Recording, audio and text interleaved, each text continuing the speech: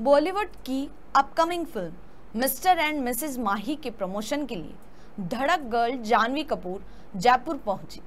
Actress को जयपुर में देख फैंस के बीच खासा क्रेज देखने को मिला।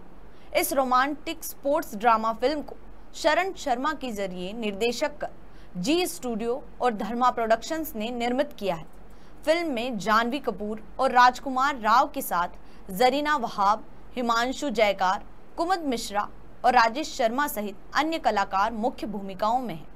यह फ़िल्म आने वाले इकतीस मई को सिनेमाघरों में रिलीज़ होगी, जिसे लेकर दर्शकों के बीच खासा क्रेज बना हुआ है।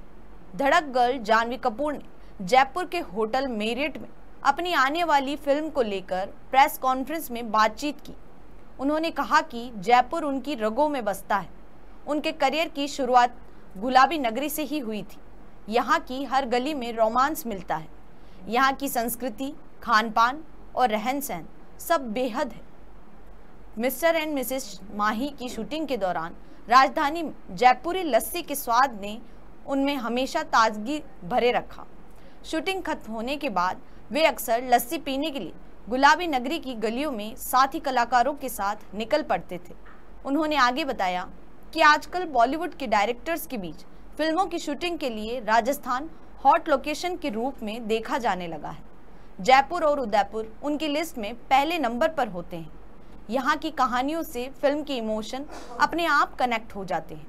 इसीलिए जयपुर से एक खास तरह का रिश्ता फील करती हूँ।